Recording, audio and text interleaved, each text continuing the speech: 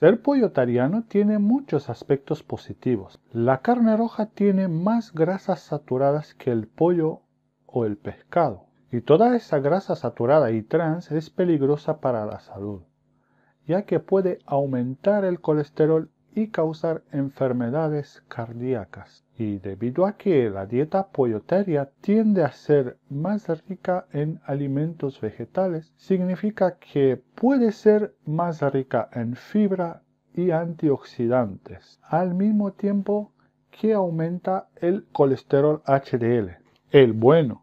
Esto se traduce en un riesgo reducido de ciertos tipos de cánceres e incluso puede disminuir el riesgo de diabetes tipo 2. Hola, soy Claudio Narita. Suscríbete a este canal, apóyame con un me gusta y déjame saber en los comentarios qué tipos de vídeos te pueden interesar. Y en este canal vas a encontrar vídeos sobre cómo hacer que tu vida sea más saludable, que puedas tener una vida plena y llena de salud mediante alimentación y estilo de vida. Los beneficios no terminan ahí.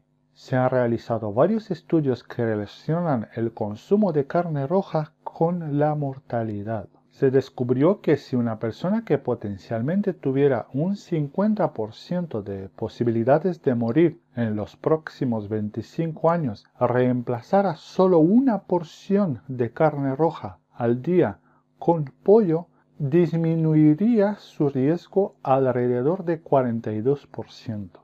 Antes de empezar cualquier dieta que restrinja ciertos grupos de alimentos, debe hablar con su médico para asegurarse de que sea seguro. Entonces puede obtener los beneficios del valiente pollo tarianismo.